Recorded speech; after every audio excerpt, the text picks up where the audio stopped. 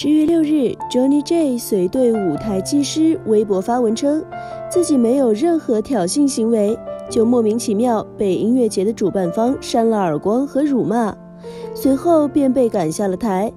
随后，当事人小白哥道歉并说道：“我做大哥几十年，这是我第一次道歉，兄弟，这个坎儿就过去了。”稍晚，Johnny J 连发微博为罗布公开声明。并取消了今年接下来所有优乐的演出。